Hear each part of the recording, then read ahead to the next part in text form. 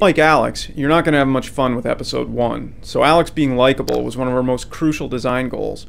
Little moments like the Zombine joke are designed to make Alyx more endearing. Since we like to multitask, it also had the practical purpose of introducing a new monster. The success of the scene relied on a combination of dialogue, voice acting, and animation. Surprisingly, lighting was really important too. Under red light, Alyx's self deprecating groan looked more like she was sneering at the player for not getting the joke. Changing the lighting to blue and then adjusting